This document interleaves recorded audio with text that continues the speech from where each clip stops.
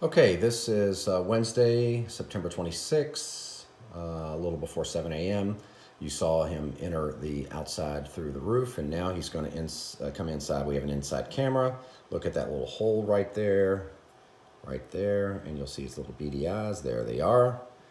And he enters right above the foyer of our home, and he's off to go take his little nap. And I'll show you another camera view that's even better so you can see the size of this guy.